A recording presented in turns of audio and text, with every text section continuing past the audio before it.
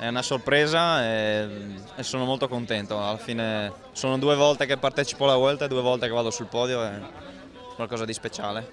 Dicevi dopo tutte le disavventure di questa stagione, quindi adesso come stai? Ma adesso sono sano, diciamo, il problema è stato, si è risolto e devo solo guadagnare un po' di condizione e avere un po' di pazienza perché so che non, non potrò essere il De Marchi dell'anno scorso ma con un po' di pazienza ritorneremo a crescere. Pazienza però inevitabilmente quando si prende il via di una corsa così lunga, così grande e così importante c'è sempre comunque la voglia e l'obiettivo di sperare in qualcosa. In cosa sì, speri? Eh, non si sa mai, alla fine tre settimane sono sempre lunghe e, e, non sai cosa puoi aspettarti, però so che con quello che ho perso questa primavera devo, devo, avere pazienza e fare un po' attenzione a quello che succede, quindi vivrò la giornata in funzione della squadra e poi vedremo un po' cosa ci riserva, la, la, la Vuelta è dura quindi bisognerà fare attenzione a come gestirsi.